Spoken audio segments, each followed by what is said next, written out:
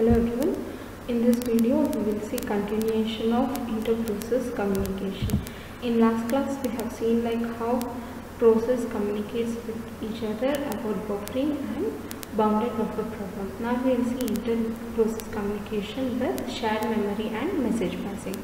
In shared memory an area of memory is like a block of memory is shared between the process which are communicating the communication will be under the control of user process but not with the control of operating system in the shared memory. Major issues to provide this mechanism is like user process to synchronize their action when the access, access of shared memory is issued. Since the user is or user process is responsible for communication of shared memory. Next is inter-process communication using message passing. Mechanism for process to communicate and synchronize their action is like by message system. There is a message system. The process communicate with each other without restoring to shared variable. IPC facility provides two operator like send message and receive message. The me message size what you are sending and received either fixed or fixed message passing method or variable message passing where the size of the message is not fixed. Next one is in the message passing we have direct communication. In the direct communication the process will send the message directly to the another process which is under communication. So the process must specify the address or the uh, process ID and the message to which the process is sending the data. So here send P message. Send a message to the process P. In the receiving, the receiver message will receive like Q message, receiver message from process Q. The properties of communication link is like link are established automa automatically from the process send and the process receive. A link is associated with exactly one pair of communication process. It can send one message and receive one message. The link will be broke down. Between each pair of there exists exactly one link. So if we have two processes then which is sending and receiving there will be only one link established at a time. The link may be unidirectional but usually sorry the link may be unidirectional. It may only send from one side but usually it is like communication bidirectional links will be used in all the times. Next is indirect communication. This can happen based on mailbox.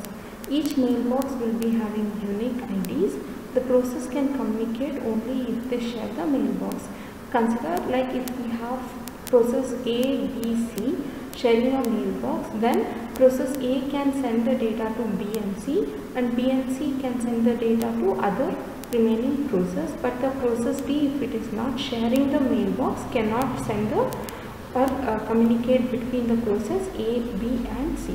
The communication link will be established by the process shares a common mailbox like ABC will be sharing a common mailbox. A link may be associated with many processes uh, like not only two unlike direct communication multiple processes can share one link. Each pair of process may share several communication links like a process A can be with communication with ABC but the process A can also be a partner of any other mailbox that is also possible. Link may be unidirectional or bidirectional. In indirect communication, operation is like creation of mailbox which is main thing, send and receive message through mailbox and then destroying the mailbox. In direct communication, only mechanism or operation was creating the link and deleting the link. Here, we have to create a mailbox, give allocate the process for it and then send receiving messages. It may be multiple messages, then destroy the mailbox. Primitives are defined as send, may,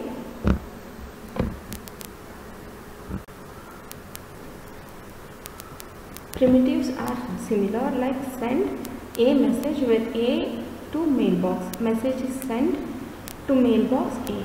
Receive A mailbox where the message is received from a mailbox A instead of specifying which process is sending message to which processor.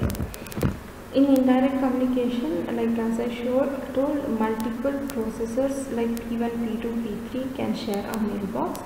So all the processor which is sharing the mailbox can receive the mail or the message but the process will not be knowing who is getting the message and who is sending the message. Solution here is allow the link to be associated with, with at most two processes at a time. Do not allocate mailbox to more than two processes at a time. Allow only one process at a time to execute receive option so that you can uh, avoid ambiguity in the data. Allow the system to select at attributely and receive receiver. Sender is notified who the receiver was. Next comes synchronization. A message passing may be either blocking or non-blocking. Blocking is considered as synchronous and unblocking non-blocking message is called as asynchronous. Blocking send is like the sender is blocked until the message is received and blocking receive means the receiver will be blocked until the message is available. This is what exactly we saw in the last class about producer consumer problem.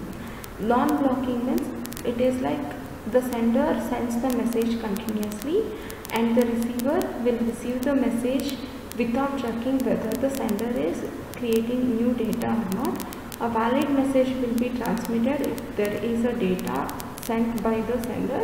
If not, a null message will be received by the receiver. Different combinations is possible like you have blocked sender and non-blocked receiver, blocked receiver, non-blocked sender and so on. We call it as rendezvous. We have in the synchron with help of synchronization, we can even even customize our producer consumer problem where the message message next produce while to producer produce an item next produce send next produce. Based on send next produce the consumer will be waiting for the functions next send next produce. Receiver will get next received consume the items and notify the producer. I hope you understood this topic. Thank you